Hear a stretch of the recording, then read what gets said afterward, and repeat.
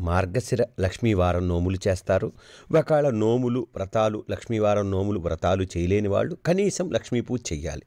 అంటే శ్రీ సూక్తం లక్ష్మీ అష్టోత్రం లక్ష్మీ అష్టోత్తర శతనామ స్తోత్రం కనకదారా స్తోత్రం.